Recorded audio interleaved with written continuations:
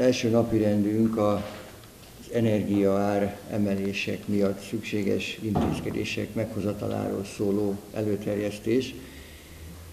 Nemrégiben tárgyalt erről a témáról a képviselőtestület, áttekintettük akkor, hogy hogyan érinti a nagyatári intézményeket, a városunk működését, az önkormányzatot, a várható energia ár emelés, emelkedés és több megállapítást tettünk, és a képviselőtestület azt a megbízást, azt a feladatot adta, hogy készítsük el az akkor tárgyalt anyag felhasználásával azt a javaslatsort, amivel ezt a problémát szeretnénk kezelni, enyhíteni, megoldani, úgyse tudjuk. Tehát ezt a munkát végeztük el a, az elmúlt időszakban, és ennek az eredménye van most itt előttünk. Ugye különleges helyzet ez, ami most ma szerintem Európában van. Magyarországon látjuk, hogy mifelé tartunk, mik azok a körülmények, feltételek, amelyek befolyásolják az életünket, és hát nyilvánvalóan ebben a környezetben, ami e tekintetben a feladatellátáshoz kapcsolódó, ahhoz szükséges költségek nagyon jelentős növekedése közepette, milyen tennivalóink vannak, és hogyan tudunk ezen a helyzeten úrrá lenni. Ahogy mondtam, ez generálisan minden önkormányzatra igaz, én azt hiszem, és hát a családokat is természetesen érinti. Na most ugye két irányba lehet kimozdulni ebből a helyzetből, az én felfogásom szerint. Az egyik az az, hogy, hogy megszüntetni, bezárni, abba hagyni, nem vállalni, tehát ez egyik iránya.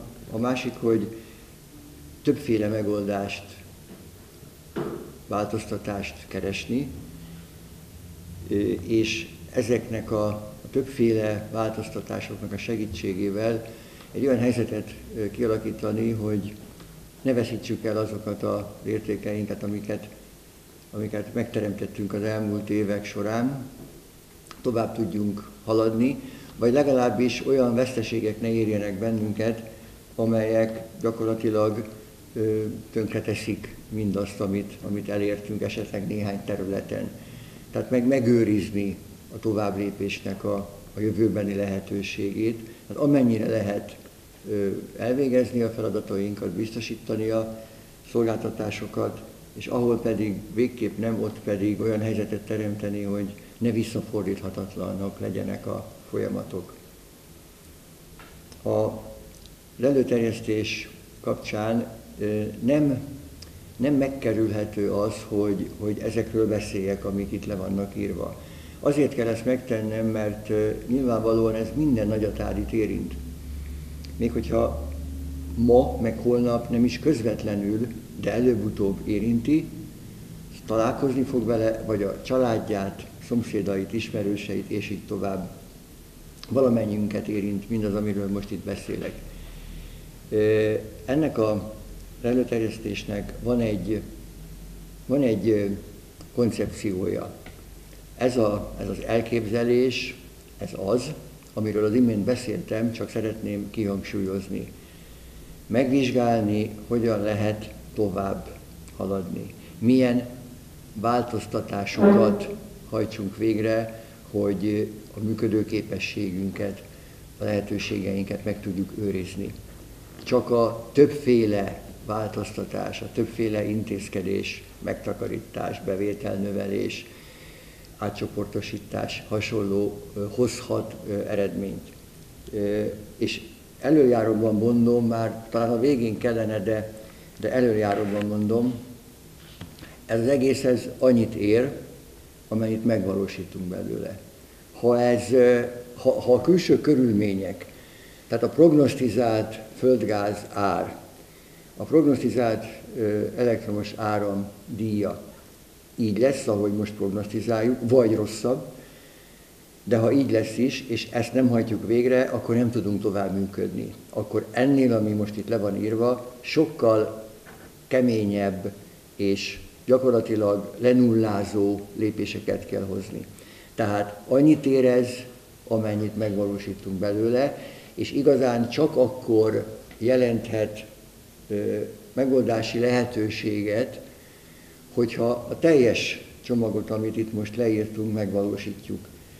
Tehát, hogy egyet, egyet igen, másikat pedig nem, annak sincs semmi értelme, mert olyan nagyságrendűek a, a költségek, hogyha ha egyik helyen a, a csökkentését nem tudjuk elérni, akkor az kihat a többire is.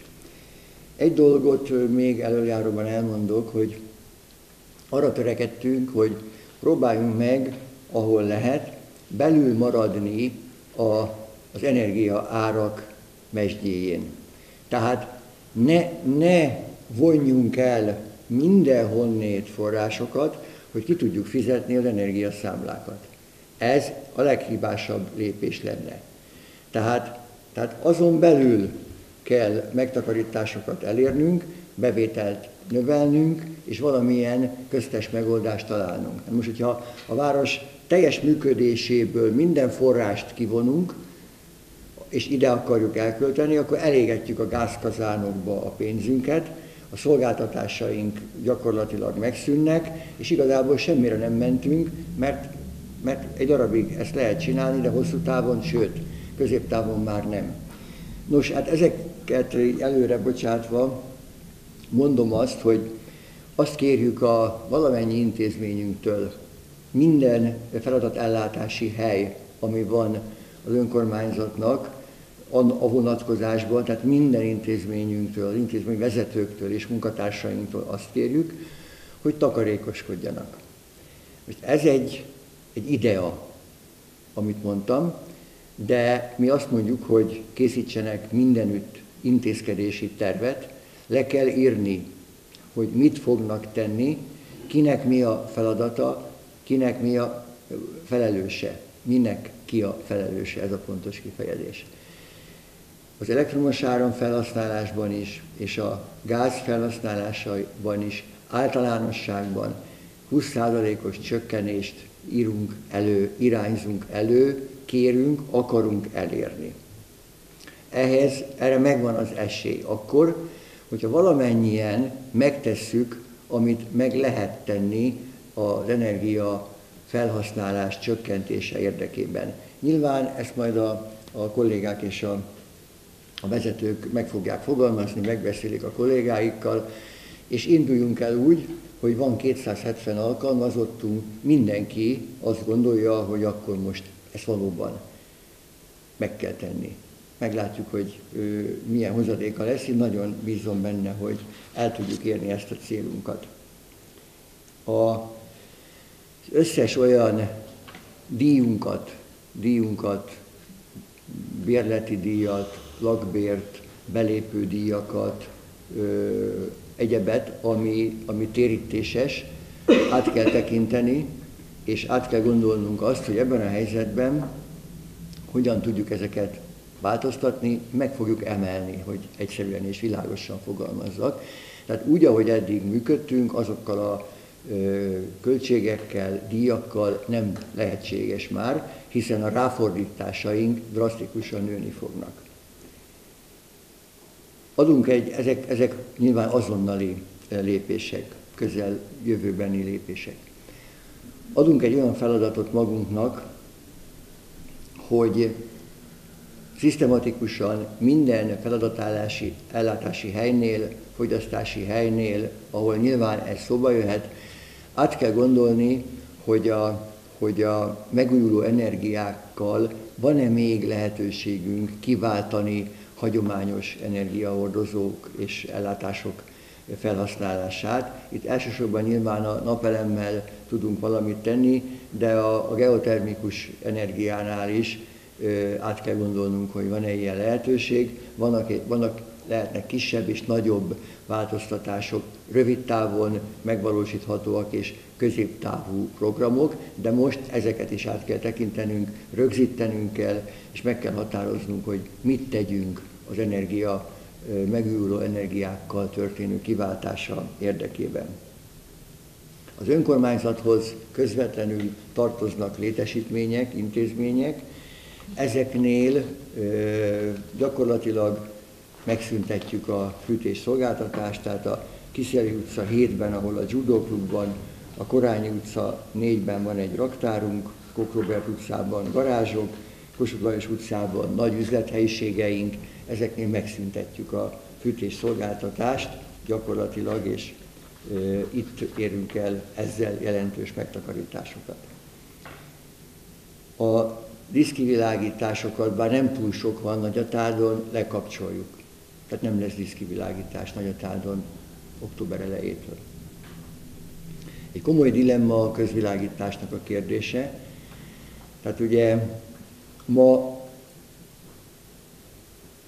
bruttó 900 ezer, nézem a kolléganőmet, ugye a közvilágítás havi, a, az energiafogyasztás bruttó 900 ezer. Tehát bruttó 900 ezer forintot fizetünk a közvilágítás, ez az elektromos áramdíja, ebben nincs bent a rendszerhasználati díj. Hogyha ez háromszorosára nő, akkor, akkor az már egy óriási összeg. Tehát azt mondjuk, hogy azokon, azokban a utcákban és azokon a közterületeken, amelyek az önkormányzati utakhoz tartoznak, ott ö, csökkentjük a működő ö, izzók, lámpatesteknek a számát. Ugye ezt úgy szokták mondani, hogy minden másodikat kikapcsolunk. Hát nyilván kereszteződésekben és azokon a helyeken, ahol, ahol nagyobb a forgalomot nem, de hosszú utcák vagy utca közepén, utcák közepén, hosszabb szakaszokon ezt meg fogjuk tenni. Tehát ez a szándékunk, hogy ebben a dologban így járunk el. Óvodákról beszéljünk. Ugye hat óvodai egységünk tevékenykedik Nagyatádon. Ugye pontosan megnéztük a földgáz felhasználását ezeknek a intézményeknek, élesen elválnak egymástól a földgáz felhasználás hatékonyságát tekintve, nagyon jelentősen elválnak egymástól az épület energetikailag felújított óvodáink, és azok, azok, amelyeket nem újítottunk föl. Ugye mindenki emlékszik rá, hogy három óvodát tudtunk abba a pályázatba beilleszteni, amelynek a segítségével ezeket felújítottuk, ez egy Európai Uniós támogatás volt. Itt egy egészen jó hatékonysággal tudjuk biztosítani a, a épületeknek a fűtését, a másik háromban ez egy ennél sokkal rosszabb hatékonyság, tehát a Henézi, a Bodvicai és az Alkotmány utcai óvodákban rossz hatékonysággal tudjuk működtetni a, a fűtést. Ezek közül is a, a Bodvicai és az Alkotmány utcai kiemelkedően sok aránytalanul magas arányú földgázt fogyaszt a fűtés során, ezért ebből a két óvodából elhozzuk az óvodai csoportokat október 1-ével. Egy másik óvodában, illetve a bölcsődében helyezzük el őket, ugye az Alkotmány utcában kettő, Budvicán egy csoport van, és gyakorlatilag a fűtési szezonban ezeken a helyeken dolgoznak tovább, a csoportok természetesen együtt maradnak, az óvónők, munkatársaink velük mennek ezekre a helyekre. Az Alkotmány utcai óvodánál ott látjuk azt, hogy, hogy két olyan lépés van, amit a, a, a fűtési szezon végéig ö, meg tudunk tenni, és arról is szól ez a javaslat, hogy tegyük meg. Az egyik a használati melegvíz, amit most földgázzal biztosítunk, biztosítása elektromos vízmelegítővel, tehát itt egy jelentős váltás lesz, ez egy jóval alacsonyabb költségű megoldás, illetve a fűtést biztosító két kazán egy jóval korszerűbb kazára történő cserélése, ami nekünk rendelkezésünkre áll egy másik intézménynél leszereltük nemrégiben, tehát ezeket megtesszük, és ezeknek az ismeretében ott újra tudjuk számolni, hogy hogyan lehet működtetni. Eddig látunk most, nyilvánvalóan ott folytatni lehet ezt a, ezt a munkát, de ezek a közvetlenül látható és megteendő lépések. Itt teljesen megszüntetjük a fűtést.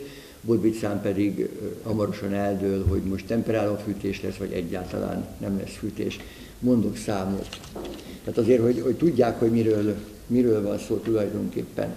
Tehát a, a Rákóczi utcai százszor szép óvodának a gáz költsége 6 millió 770 ezer forint volt egy évvel ezelőtt, tehát egy éves időtartamban a korábbi gázárral. A várható, tehát a következő időszakban várható és számított gázárral, ez 17 millió 689 ezer forint. Tehát 17 millió, 17,5 millió forintot nem tudunk és nem is akarunk elkölteni ennek a létesítménynek a fűtésére. Ez egy nagyon nagy hiba lenne, tehát nem tesszük meg, elhozzuk unnét a, csoportot. A napsugár óvodában 8,5 millió forint volt korábbi időszakban a gázszámla, ez 24,5 millióra nőne. Tehát azt gondolom, hogy ezek a számok beszédesek, és megmutatják azt, hogy miért döntöttünk úgy, hogy ezeket elhozzuk onnét, akkor hogy legyen, legyen összehasonlítási alap, a Csillagszem óvoda Aradi utca a megemelt gázdíjjal kiszámolt gáz költsége 7 millió forint. Tehát a 7 aránylik a 24-hez. A négy csoport aránylik a kettőhöz. Tehát a 24 millióval két csoport, a 7 millióval négy csoportos óvodát fűtünk. Tehát itt ez a mi felelősségünk, változtatni kell. A javaslat az arról szól, hogy a fűtési időszakra hozzuk el ezeket a csoportokat. Beszéltem arról, hogy a napsugárrovondánál látjuk, hogy milyen közvetlen lépéseket akarunk megtenni. Az egyik a használati melegvíz elektromos előállítása nyilván ahhoz kell, hogy amikor a fűtési szezon után lehet, akkor ott teljesen rendben lévő körülmények közé mehessenek vissza a gyerekek. Budviszánál át kell gondolnunk, hogy a nagyon nagy területű, nagyon nagy belmagasságú épületnél valamilyen szintű és, és tudású fűtési rendszerrel mit tudunk tenni, hogyan tudunk ott változtatni. Itt arról van szó, hogy ezt át kell, hogy tekintsük. Biztosítani fogjuk az óvodákban természetesen az előírt 22 fokot a csoportszobákban, ez nem szenvedhet csorbát. Az a célunk, hogy, hogy a, a, az előírásoknak is, és a gyerekek szempontjainak, érdekeinek is teljesen meg tudjunk felelni. A kulturális központnál ott nagyon jelentős változások lesznek. Az egyik, amiket nem fogunk működtetni.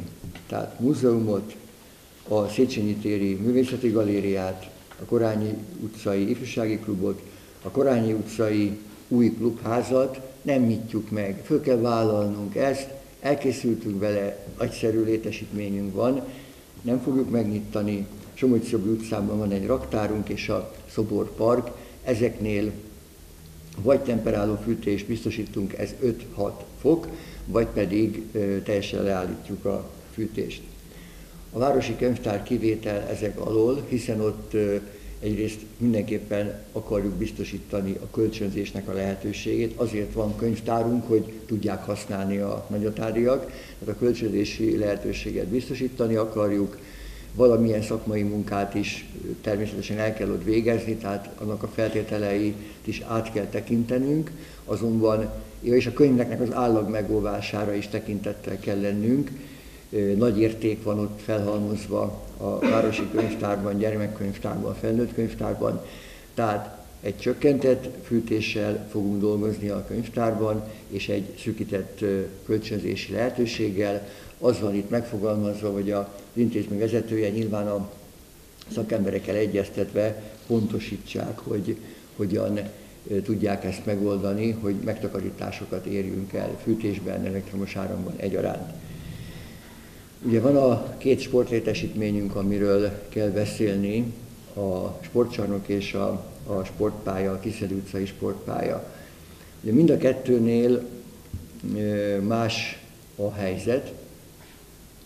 Talán a sportpálya az egyszerűbb, mert ott ugye jó, nyilván léptékében sokkal kisebbek a költségek.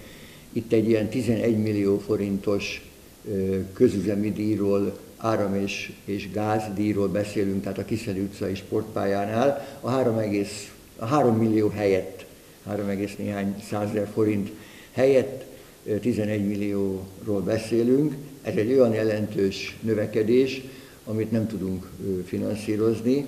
Tehát az a, az a javaslatunk, hogy, hogy azt a pénzügyi forrást, amit eddig a Sportegyesületnek, a Magyartádi Futballklubnak biztosítottunk, azt a támogatást a közüzemi költségekre fordítsuk, használjuk föl, tehát biztosítjuk a, a sportolásnak, az ottani tevékenységnek a hátterét és feltételeit, de emellett ugyanazt a támogatást nem tudjuk a következő időszakban már biztosítani. Tehát itt alap esetben erről van szó, hogy így, így ö, oldjuk meg az ottani működésnek a finanszírozását. A sportcsarnok egy jóval bonyolultabb helyzet. Egyrészt a lépték miatt, tehát olyan, olyan nagyságrendűek a, a költségek, amelyek, amelyek hát bizony elgondolkodtatóak, és most látszik, hogy, hogy azért, azért tulajdonképpen egy, egy nagyon jó és hatékony működésünk volt eddig. A sportcsarnok reggel 8 órától 21 óráig kihasználta a hétköznapokon, és a hétvégeken pedig folyamatosan mindig valamelyik napon, de valamikor mind a két hétvégi napon rendezvények, programok vannak ott. 14 millió forint volt a, a gáz költsége az korábbi számok alapján, ez 68 millióra nőne. Ez megfizethetetlenül magas összeg. Gyakorlatilag ugye a rendszer úgy működött, hogy a, a sportegyesületek részére térítésmentesen biztosítottuk a sportcsarnok használatát. Ugye a meghatározó időben is, létszámban is, csapatok tekintetében is a kézilabda sport, a Rénymenti Kézilabda Klub, akik ott edzenek és játszák a bajnoki mérkőzéseiket, férfi-női szakág, utánpótlás csapatok, tehát itt arra kell gondolni, hogy 8-10 csapat tevékenységéről beszélünk, tehát nem egy csapat van ott, hanem, hanem ilyen számban vannak, ugye, mert korosztályos csapatok is vannak. Egy nagyon komoly érték, ugyanezt elmondhattam volna, és most akkor elmondom, nehogy félreértés legyen a futballklubnál is, tehát ott is korosztályos csapatok vannak, női csapataink vannak, tehát, tehát nagyon sokan sportolnak, futballoznak, egy óriási érték a 110 valahány éves Nagyatádi futballklub. Ugyanez a kézilabdára is igaz, és erről, ezekről is beszéltem, amikor azt mondtam, hogy nem szabad föladnunk az értékeinket, ameddig csak lehet. Visszatérve a, a, a szigorú valósághoz. Tehát azt mondjuk, hogy, hogy ezt a fűtési költséget egy jóval takarékosabb működéssel, alacsonyabb hőfokok biztosításával és nagyon gondos napi, félnapi fűtés beállítással, szabályozással, indítással, leállítással, tehát még egyszer mondom, félnapi intézkedéssel, beavatkozással, ez a helyes kifejezés, mintegy 30%-kal lehet csökkenteni. Ugye, mert azokat az adatokat vettük mindig alapul, a tényleges egy évre szóló fogyasztást, és ugye azt számoltuk akkori áron és a várható áron, tehát hogy ez egyértelmű legyen. Tehát tudná, az a cél, hogy 30%-kal csökkentsük a gáz és elektromos áram felhasználást. Elsősorban itt a gáz az, ami meg, meghatározó. És ezután egy új, egy új konstrukciót ö, alakítunk ki. Ö, ugye a kézilabda klub részére bérbe adjuk a sportcsarnokot, és ők jelentős ö, nagyságrendű bérleti díjat fizetnek az önkormányzatnak, amit mi nyilván a közlemű költségekre fogunk felhasználni. Erről van egy előzetes megállapodás a kézilabda klub vezetői és a fő támogatója között. Ez kimondásra került részükről, hogy ezt ők vállalják. Ez, ez a nagyságrend, ez tulajdonképpen a holdpontról átbillenti ezt az egész folyamatot abba, hogy van, van, tehát nem az önkormányzat állott egyedül finanszírozni ezeket a nagyon jelentős mértékben megnövekedett közlemi költségeket, hanem ott van a legnagyobb használó, akik hát egy nagyon jelentős költségvetéssel gazdálkodnak ö, nyilván, aki ebben részt vesz. Tehát mi bérleti díjat számlázunk, és ők ezt fizetve hozzájárulnak a közlemi költségekhez. Sikerült megállapodnunk a, a Kaposvári tankerülettel abban, hogy egy megemelt bérleti díjon továbbra is használják délelőttönként a sportcsarnokot.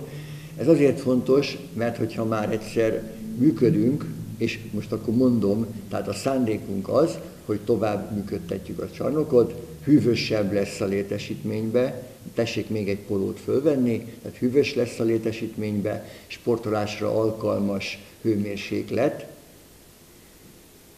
de nem ingújas sörözéses hőmérséklet, és, és e, az előbb elmondtam, hogy ennek a finanszírozását hogyan biztosítjuk. Tehát van egy lábunk a önkormányzat, van egy a RKC, van egy a Kaposvári Tankerület Nagyatádi általános iskolák, és akkor tárgyalunk a Kaposvári Szakképzési Centrummal, hogy ők is használják tovább a létesítményt, hiszen nyitva vagyunk, hiszen sportolásra alkalmas hőmérsékletet fogunk biztosítani. Azt kell most már biztosítanunk, ha a kézilabda működik. Tehát be, egy olyan helyzetet alakítottunk ki, hogy most az az érdek, hogy minél többen használják a létesítményt, hogy minél hatékonyabb legyen ennek a működésnek a biztosítása, az erre fordított erőforrások minél hatékonyabbak legyenek, és hát nyilvánvalóan egy nagyon jelentős változás, hogy az energiaárak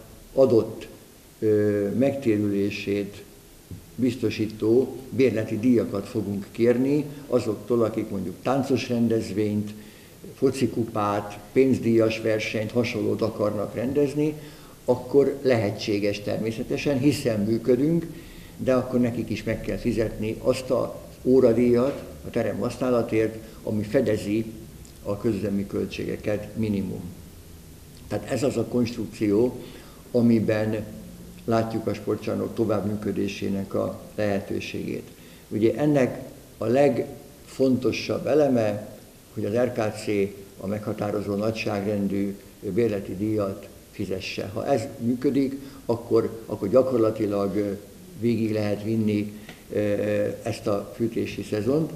Ezen még az változtathat, hogyha nem a hétszeresére, hanem akárhányszorosára nőnek a gázárak. Azt már nem lehet követni. Tehát akkor, de ezt másra is mondom, tehát ezt más létesítményekre is mondom, van egy pont, amin nem lehet ö, tovább menni.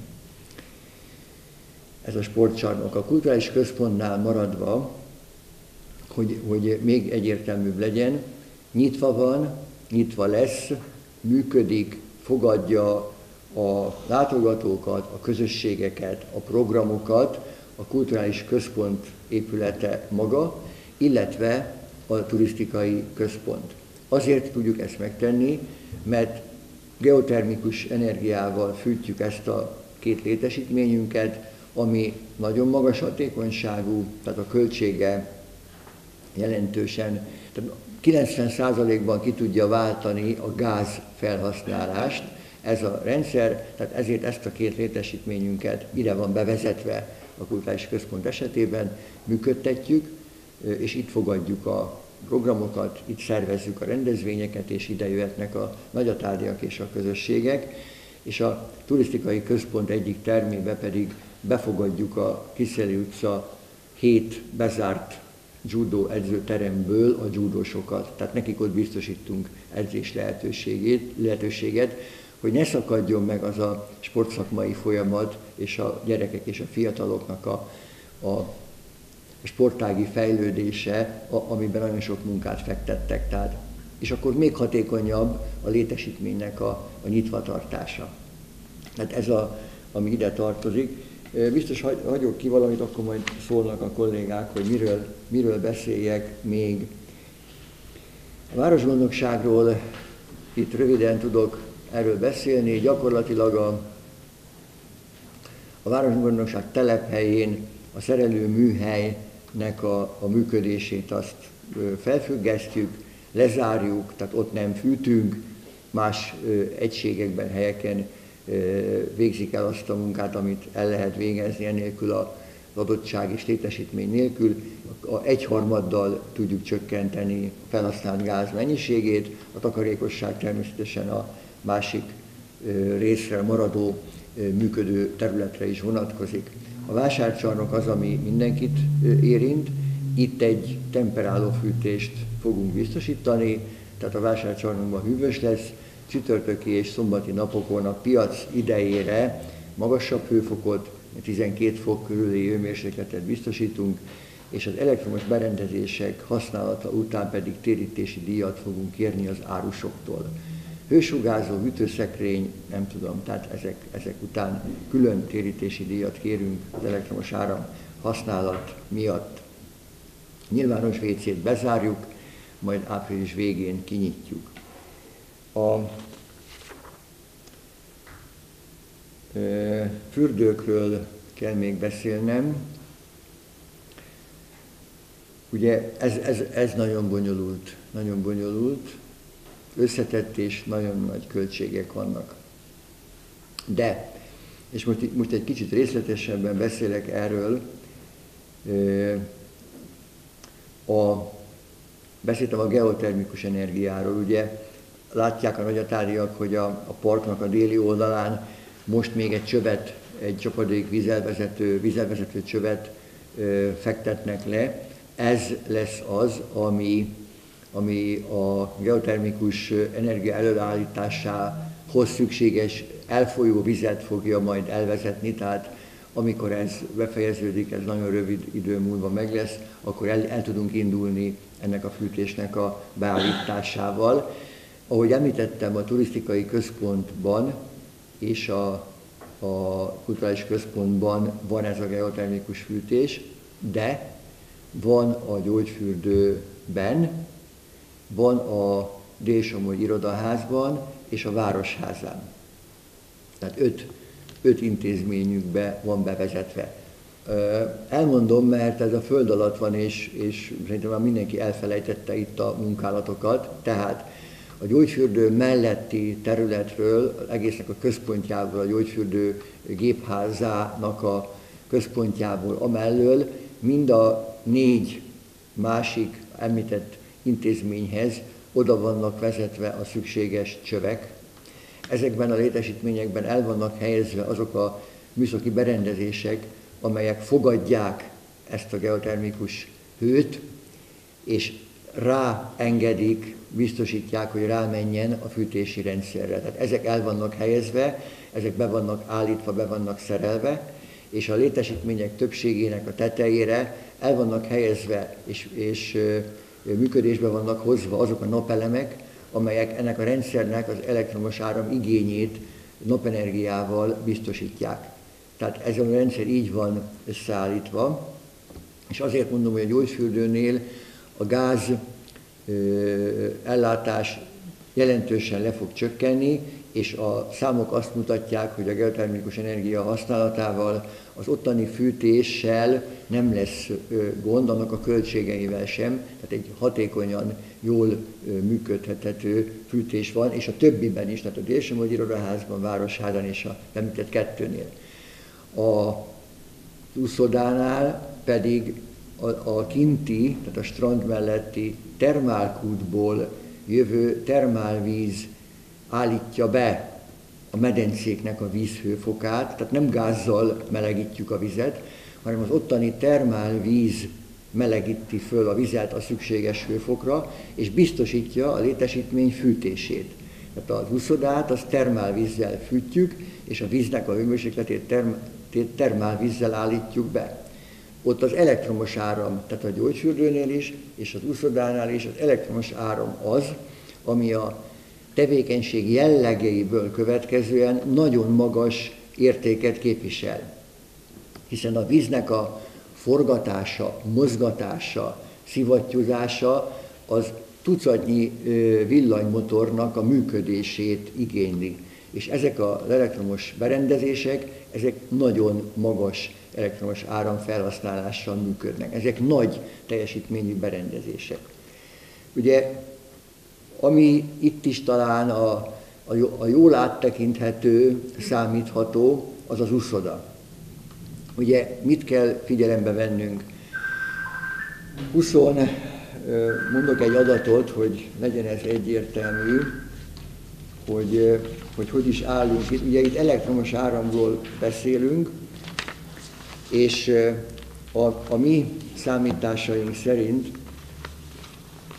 meg, megkeresem, mert szeretném, hogyha ezt el tudnám mondani, a mi számításaink szerint a, az uszodánál a mintegy 20 millió forintos elektromos áramköltség 42 millióra nőne.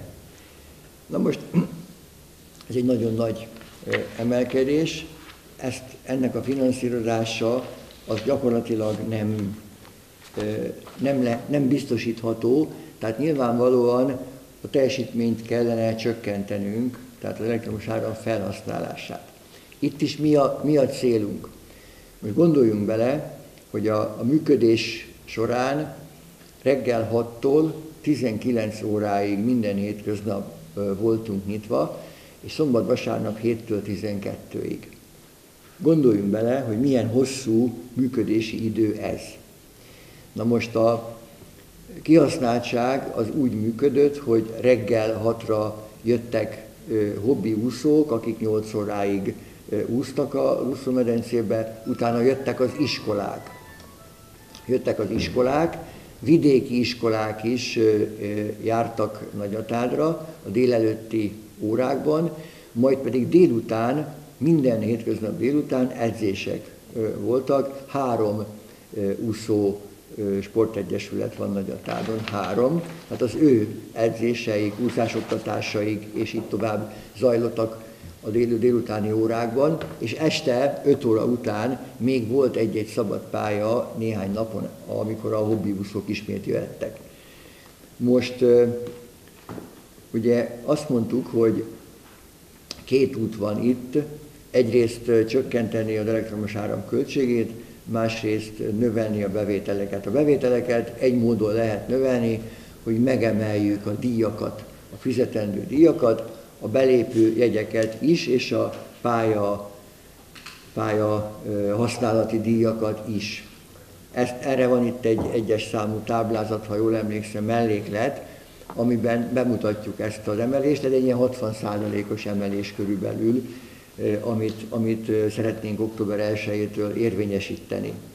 Ezzel jelentősen nőhetnek a bevételeink, de alapvetően nem a belépő díjakból, mert hiszen hát azok is számottevőek lehetnek, azonban az iskolák és a sportegyesületek használata a meghatározó. Tehát úgy, úgy, úgy írnám ezt le, ez egy elnagyolt arány, amit most mondok, hogy 92%-ban, itt a, elnézek a Tamásra, de nem látom, de 92%-ban a csoportos iskolai és edzéses igénybevétel, és mondjuk egy 8%-a hobbiúszók, bérletesek, belépőjegyesek.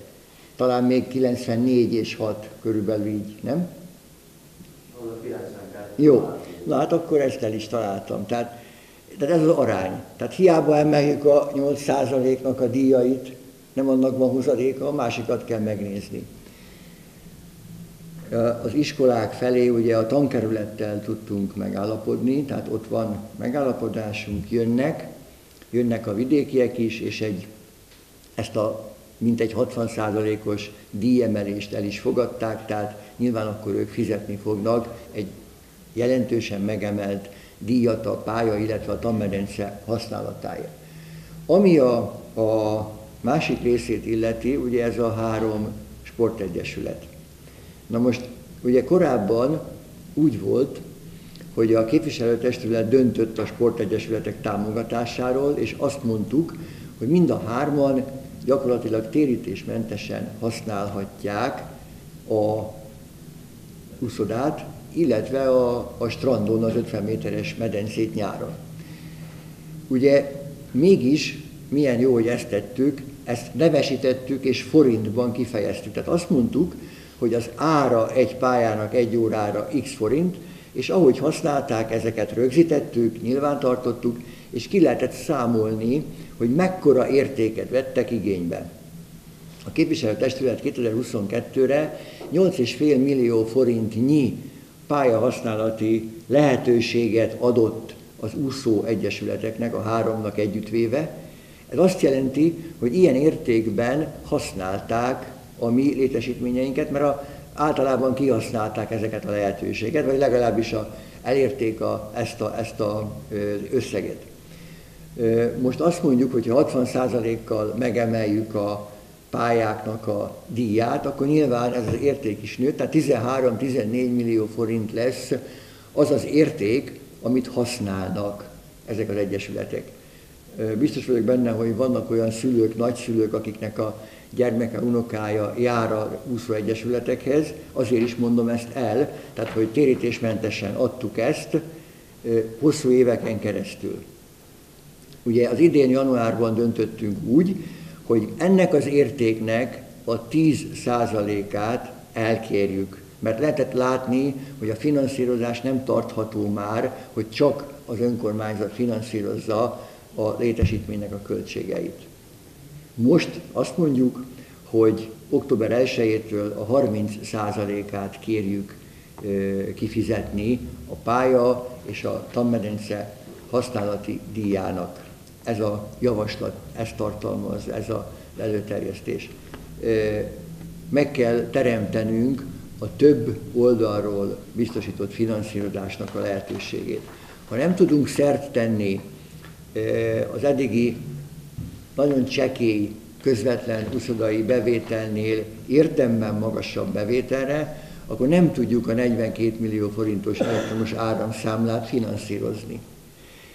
Ez az egyik része a másik, hogy a munkatársaink azon gondolkodtak és dolgoztak, hogy hogyan lehet az elektromos teljesítményt, a, a kiadást csökkenteni.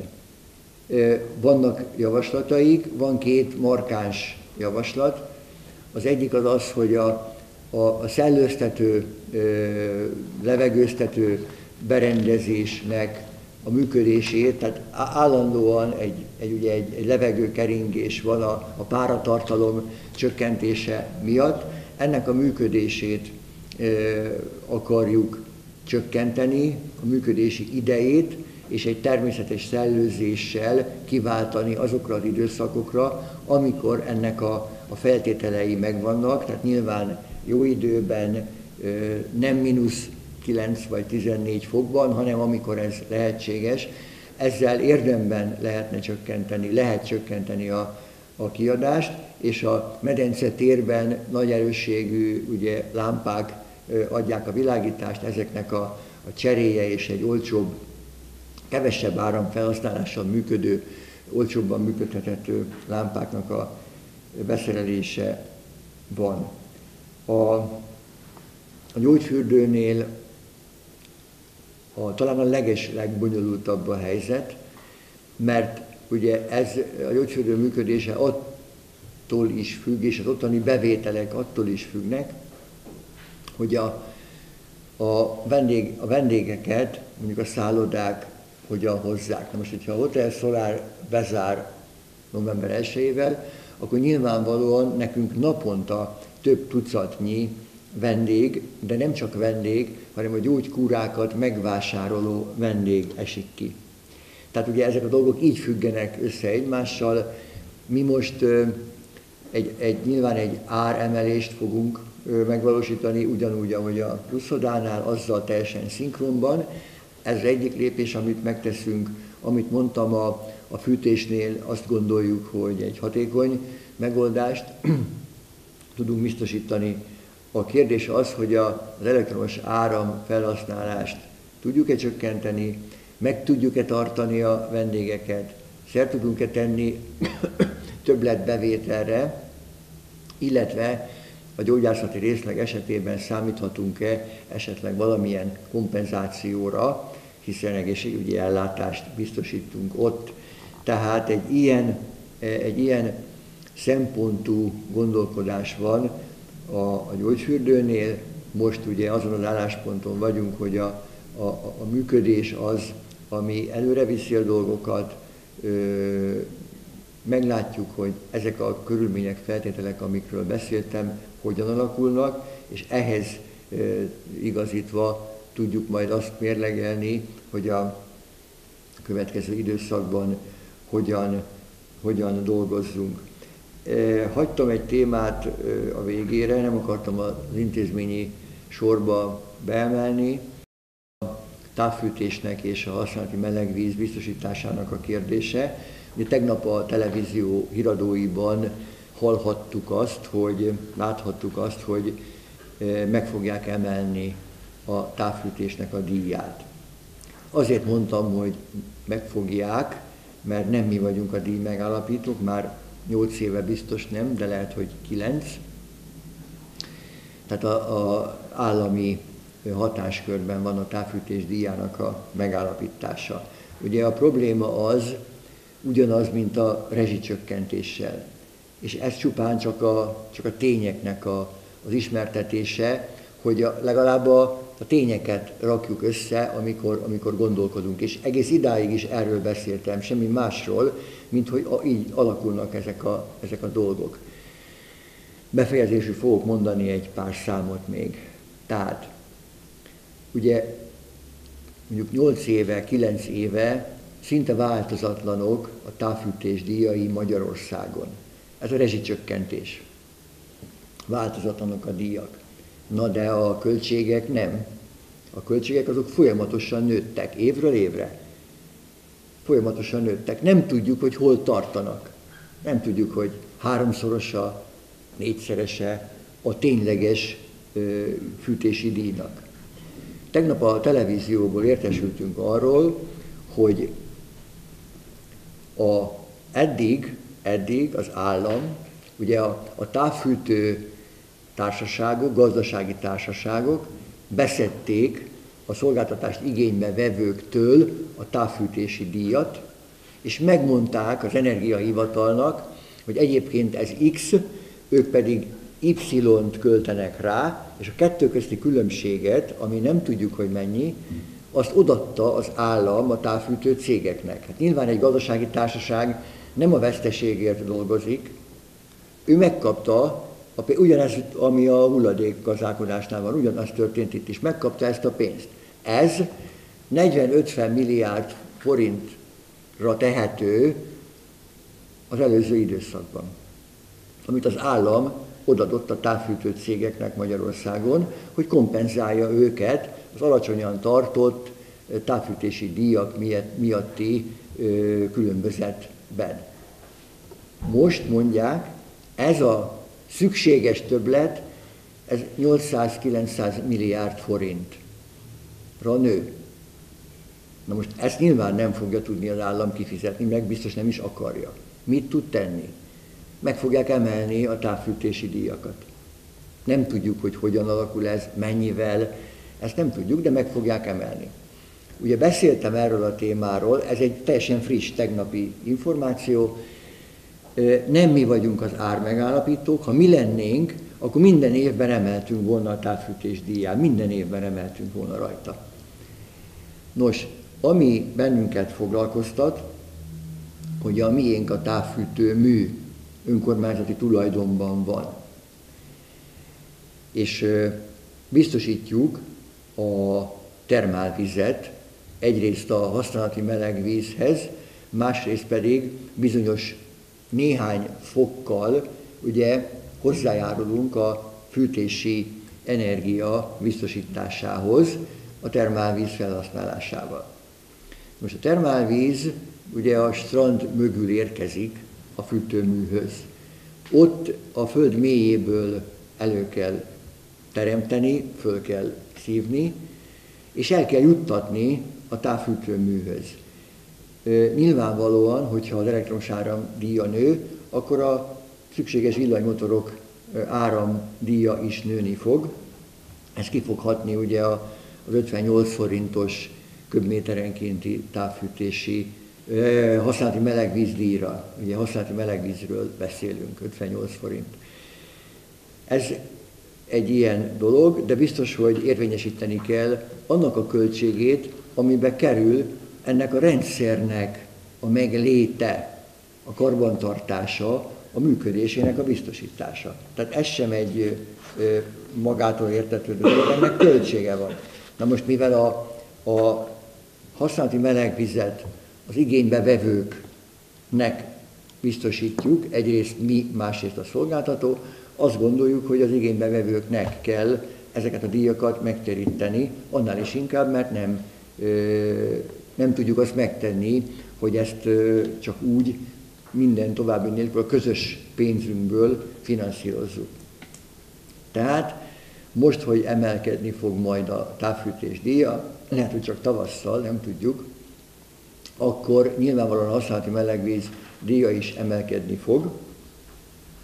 Azonban ez a, ez az egyszerűbb és kisebb jelentőségű változás. Biztos, hogy jelentősen nőni fog ez a díj, ami most 58 forintba kerül. Egy köbméter víz pedig 274 forint Nagyatádon, és a, a meleg víz meg 58 forintért van biztosítva. Csak az összehasonlítás miatt mondom, hideg víz 274, meleg víz 58 forint, tehát ezen változtatni kell mindenképpen. Azonban most még újra elmondom, amit múltkor elmondtam, és azért mondom el, mert, és le is fogjuk ezt írni, azt szeretném, hogy meghallják. Hogyha nem áll módunkban termálvizet biztosítani, valami ok miatt, akkor vajon a 274 forint köbméterbe kerülő hidegvíz gázzal történő felmelegítésével hány, mennyi forintba, hány forintba fog kerülni egy köbméter meleg víz a távfűtött lakásokba. Hát ezzel kell szembenézni. Ezzel kell szembenézni, mert a szolgáltató nyilván nem fogja finanszírozni, az önkormányzat nem fogja finanszírozni, akkor nyilvánvalóan az igénybe vevők azok, akiknek ezzel számolni kell. Tehát én most szólok, hogy, hogy ezt, ebbe gondoljon bele mindenki. Mi fog, ki fogjuk munkálni, hogy ebben az esetben milyen díj az, ami, ami érvényesülhet, mert Viszmajorra is föl kell készülnünk, bármi történhet. A, a, gáz ár olyan mértékben fog megnőni, hogy a víz felmelegítése, ahogy otthon is, hát ez nem, nem más, ugyanúgy otthon, mivel melegítjük a vizet, vagy árammal, vagy gázzal. Ez semmi más, ugyanaz történik itt is. A vizet fel kell melegíteni, hogy az használati melegvíz legyen, alapvetően csak gázzal lehetséges ebben a távfűtéses és e, ilyen módon kialakított rendszerben. Tehát erre e, szeretném felhívni a figyelmet. E, számolunk, teljesen objektív tényadatokat fogunk bemutatni, és ki fogjuk számolni, hogy, hogy milyen, mi várható e tekintetben. Egy az alapesetben, kettő pedig a, a, a ténylegesen, ha fölmerül egy ilyen szituáció. Végül pedig ugye a, a számok és a végkifejlet. Tehát 7,5 millió megazsult fogyasztunk, fogyasztottunk. 7,5 millió megazsult, ez került 99 millió forintba. Hogyha nem változik semmi, és ugye fizettünk 7,60-at, 13 forint 10 fillért, 5, 5 forint 30 fillért, ilyen, ilyen összeget fizettünk, alapvetően 13 forint, 17 század forintot fizettünk a megazsúlér. Most mi 39 forinttal számoltunk, a szakemberek szerint ez egy középérték. Nyilván, hogyha alacsonyabb lesz, annak örülünk, ha magasabb, akkor az, az még nagyobb nehézséget okoz. Tehát 7,5 millió megazsul, 99 millió forint. Ha semmi nem változik, akkor 365 millió lenne. Ugye hát hasonlítsuk össze 100 milliót 365-höz. Tehát ezt nyilván nem lehet finanszírozni. A geotermia hoz nekünk 92 millió forint megtakarítást. Ezt ebből le lehet vonni, mi levontunk, levontuk, úgy gondoljuk, hogy ez a rendszer kell, hogy működjön, ez a szándékunk, ez a beruházásnak a célja. 273 millió forintunk maradt. Ezt kell azokkal az intézkedésekkel, amelyekről beszéltem, hosszasan beszéltem, de mondtam, hogy el kell, hogy mondjam. Ezeket el kell, hogy mondjam, el kell, hogy hangozzanak, hogy tudják a nagyotáriak, hogy miről van szó. Tehát ezt a 273 millió forintot most úgy látjuk, hogy, hogy 158 milliós nagyságrendre tudjuk csökkenteni, ha mindazt, amiről beszéltem, meg tudjuk valósítani. Ez még mindig ugye most 58 millióval több, mint amit eddig kifizettünk, de, de arányában, nagyságrendjében ez mégis, mégis közelebb áll egy, egy, egy, egy valószerű helyzethez, és ebben a számításban, amit most elmondtam, nem, nem érvényesítettük a díjemelésekből és a várható szerződéses többletbevételeinkből származó bevételnövekményt, aminek azért vannak jelentős bizonytalansági tényezői. Tehát, hogyha azok, azok is realizálódnak, akkor, akkor nyilván egy olyan nagyságrend lesz, aminek a finanszírozását belső átcsoportosításokkal meg akarjuk valósítani és biztosítani akarjuk. Befejezésül, ha viszont, amit elmondtam, és ami itt le van írva, ezt nem valósítjuk meg, akkor nem tudjuk működtetni bizonyos tevékenységeinket. Akkor nem fogjuk tudni működtetni, mert nem tudjuk megfinanszírozni, mert hogyha ez a 158 millió forint ez megugrik, akkor annak a fedezetét nincs honnét biztosítani. És azt nem várhatjuk, hogy majd kompenzálva leszünk, mert nem tudjuk, hogy mit, mikor, milyen mértékben, hogyan, tehát ez teljesen bizonytalan. Ez teljesen bizonytalan, és ahhoz, hogy ezek érvényesüljenek, ezek a megtakarítások és bevételnövekedések, most kell cselekednünk, hogy el tudjunk indulni, hogy be tudjunk állni, mire itt a téli szezon jön, mert ugyan ma 28 fok volt kint, de hamarosan, hamarosan itt lesz a, a mínusz, és akkor bizony a gázórák elindulnak.